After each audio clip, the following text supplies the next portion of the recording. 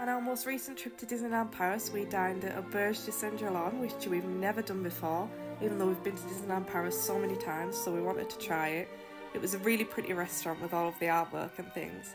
This is the menu, in case you wanted to look at that. I got the soup, the chicken, and the warm chocolate lava cake. This was the pumpkin soup. I filmed it as she like poured it over. I just thought it looked really cool.